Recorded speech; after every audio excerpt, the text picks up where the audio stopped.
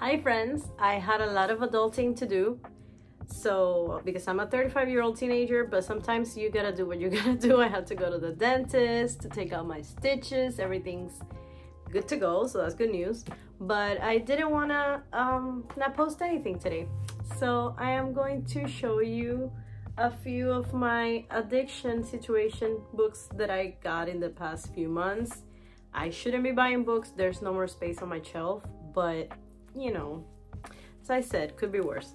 First, I wanted to talk to you about the books that I finished. I just reviewed it on my Instagram, but um, I finished this one that Quill Tree Books sent me. It's a beautiful graphic novel and it's just a story about sisterhood, magic. Highly recommended if you have middle grade kids. I don't have kids, I have a puppy, but I still love it because I am a kid inside forever.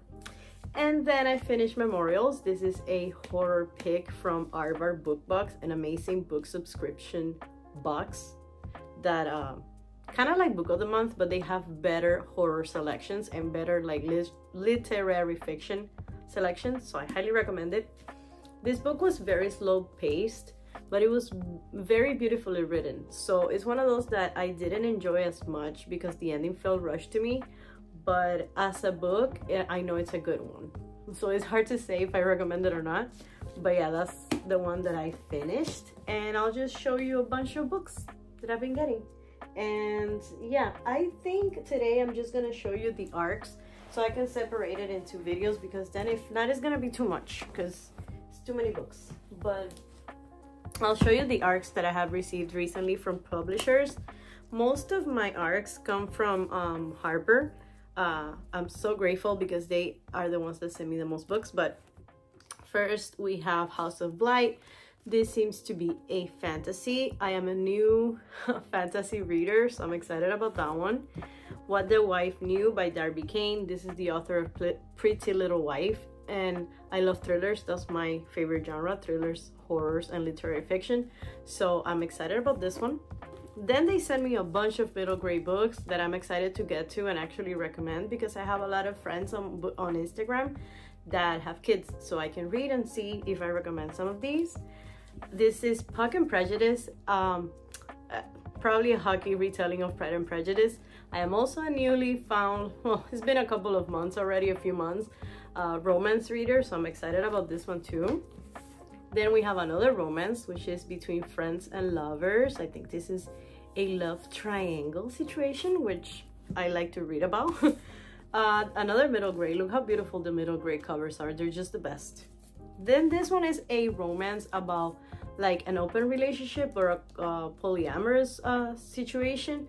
I'm not too sure. I got it in the soft cover, um, the paperback arc, and then they sent me the finished copy, the hardcover, and can't wait to get to it to review it later. Then we have, we are watching another thriller that I'm excited to get to. Then we have Noodle and Bow. This is another graphic novel. So cute. this one's so cute. Look how cute that cover is. Then I have this beautiful book that I was so excited to get because I am the biggest The Office fan. Uh, this is Dunder Mifflin. Look how pretty it is. And I think it's my, by Kevin. I think Kevin is the one that actually wrote and illustrated it with like somebody else. Yeah. Look how cool that is. So I can't wait to get to this one. I'll probably read it with a Christmas Carol that I'm gonna read for uh, a Christmas books type of thing that I wanna do. So I'll stay tuned for that. Then this The First Cat in Space, another graphic novel that they sent me. Super beautiful illustrations. Still Sal, this is another middle grade story that I can't wait to get to. Beautiful illustrated covers, I swear the middle grade books have the best covers. Then they sent me Rainbow Rowell's Slow Dance. I got the arc in the paperback as well, and then they sent me the finished hardcover, so I'm excited to get to this one. Then they have uh, sent me Give Me Butterflies. This is another beautiful romance story. Look how pretty the cover is. It's just amazing. Another middle grade. This one is Splinter and Ash. It seems like a fantasy middle grade. Can't wait to get to that one too. And last but not least, we have Adam and Evie's matchmaking tour. So another beautifully illustrated cover for a romance book that I can't wait to read and review, but it's just too many books, too little time. I know you get me. So yeah, I think, oh, we have two, three more. We have The Prince Without Sorrow. This is another arc. Look how, I mean, gorgeous cover. This is a fantasy book. It's giving me like Wicked uh, Prince, is that how it's called? Vibes, the cover. So we'll see. This is Corrupting the Innocent. It seems like one of those mafia romance, sexy kind of, what do you call it?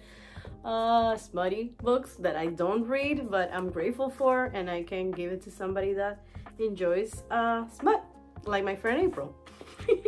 And then we have a Sky of Emerald Stars, another fantasy that I can't wait to get into, because again, I'm a new fantasy reader, so I'm excited for this one.